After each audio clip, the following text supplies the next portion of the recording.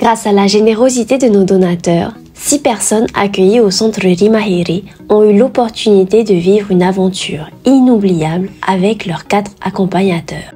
Découvrez comment ce voyage à Bordeaux et Paris a transformé des vies. Lors de ce voyage, les six bénéficiaires de Rimahiri ont pu découvrir Paris et ses lieux emblématiques, tels que Notre-Dame, la Tour Eiffel ou Montmartre. À Bordeaux, ils ont partagé des moments précieux avec les membres et résidents de l'ESAT, les ateliers d'Ornon et de l'ITEP rue du Grand Barail, renforçant leur confiance en eux et leur sentiment d'appartenance à une communauté plus large. Ce voyage a permis de briser les barrières de l'isolement en créant des moments de partage et de découverte.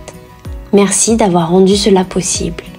Grâce à votre soutien, ces personnes ont pu vivre une expérience qui restera gravée dans leur mémoire une expérience qui les a aidés à se reconnecter au monde.